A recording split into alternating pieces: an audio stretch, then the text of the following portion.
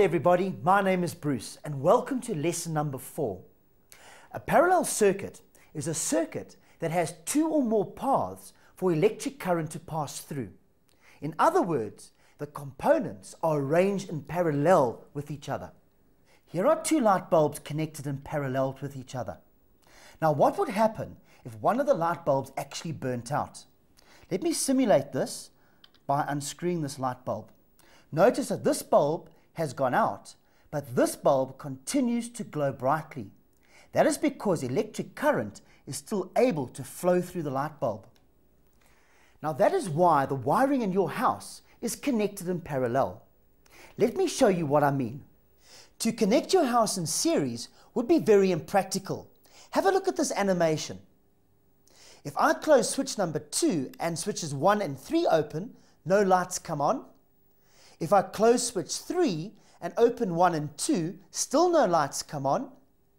But if I close all the switches, can you see now that all the lights are glowing brightly? Therefore, all the lights in the house would have to be switched on at the same time for any one of them to work. Now let's have a look at our second animation which shows a parallel combination. If I close switch 1, can you see that bulb 1 will start glowing? If I close switch 2, then bulb 2 will start glowing.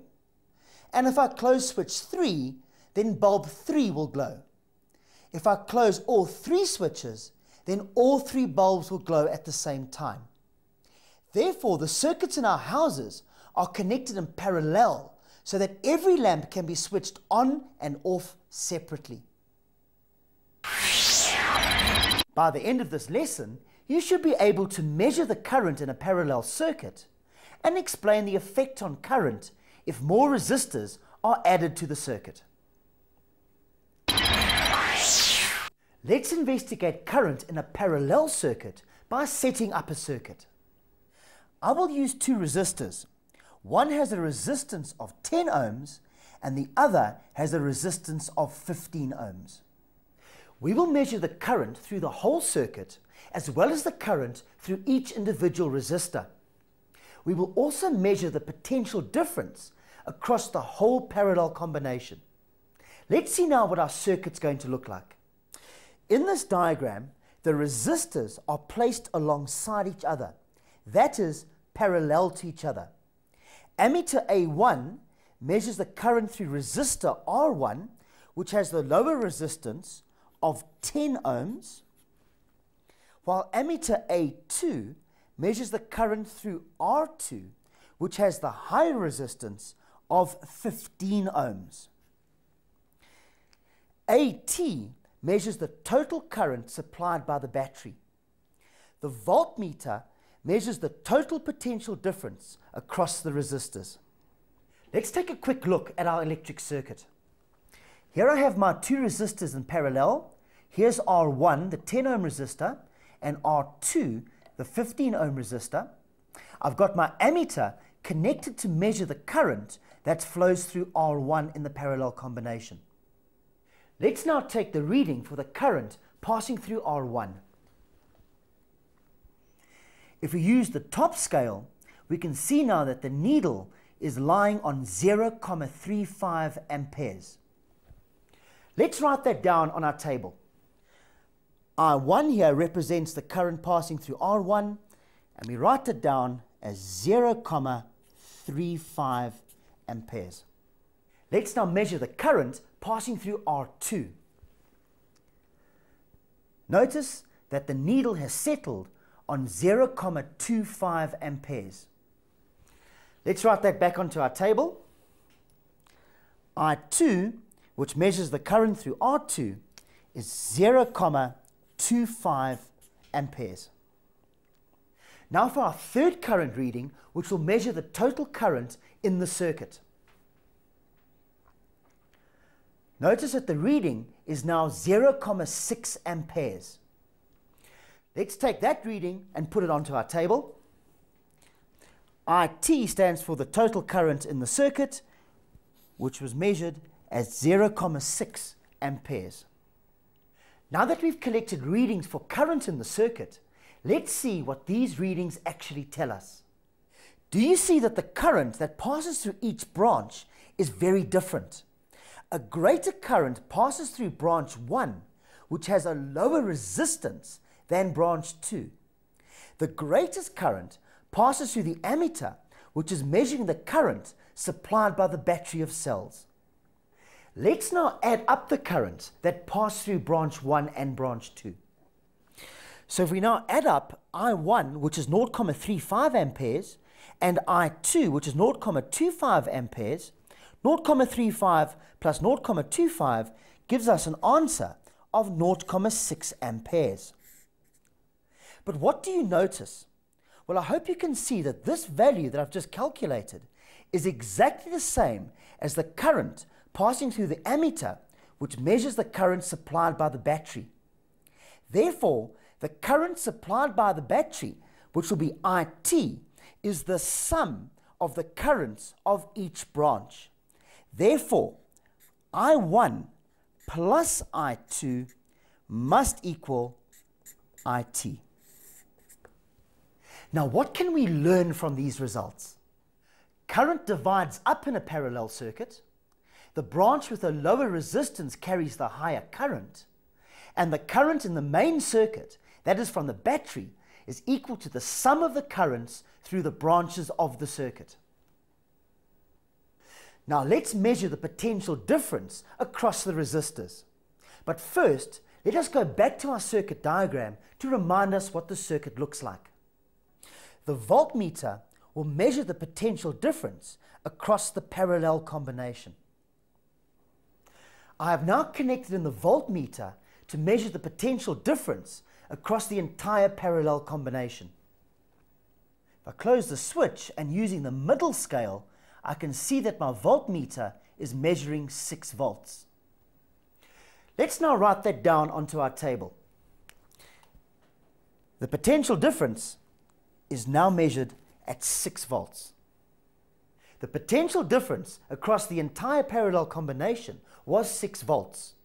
Let's see now what the potential difference will read across each resistor in the parallel combination. I will start with resistor 1. Can you see that resistor 1 is measuring 6 volts? And now for resistor 2, can you see that the reading is also 6 volts? Do you see that the potential difference across each branch in the parallel circuit is exactly the same? This is very important, so please learn it. The potential difference across the parallel branches is the same. Now let's investigate the effect on electric current when I add more resistors in parallel to our parallel circuit. Here's our circuit board and I've added the third resistor, a 10 ohm resistor to my circuit. I now have one, two, three resistors in parallel. Now before we take any readings, I want you to think about this. What will happen to the current in the main circuit supplied by the battery when another resistor is added in parallel? A, the current increases, B, the current decreases, or C, the current stays the same. Let's now try and answer that question by repeating our experiment, this time using all three resistors in parallel. The current through resistor 1 is 0.35 amperes. So in our column, I1 is 0.35 amperes. The current through R2 is 0.25 amperes. So in our table, we write down for I2 0.25 amperes. The current through R3, the additional 10 ohm resistor which is connected in parallel, is 0.35 amperes. So for I3, we write down 0.35 amperes. And now to measure the total current in the circuit, our ammeter reading is 0.95 amperes. Therefore, for I total, we can write down 0.95 amperes. I have now connected the voltmeter across all three resistors in parallel. Let's now take the reading. Can you see now that the needle on the voltmeter has stopped on the 6 volt mark? Let's now write that into our table. Voltage is 6 volts. Now what can we learn from these readings? Well, do you see that the current through each of the parallel branches 1 and 2 remain exactly the same. But the current in the main circuit increases. Now, if we add up the currents in the three branches of the circuit, we will get an answer of 0.95, which is exactly the same as the reading on the ammeter in the main circuit. The potential difference remains the same across all three branches of the parallel part of the circuit. So can you see that the battery supplies greater current the more we add resistors in parallel into our circuit? Let us now summarize what we have learned from these results.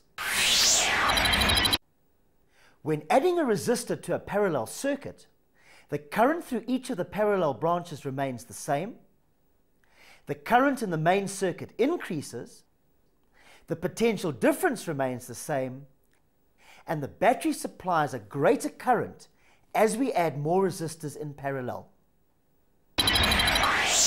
Well, I hope you enjoyed this lesson on parallel circuits. Please join me for our next lesson where we will look at the concept of resistance. Until then, thank you and goodbye.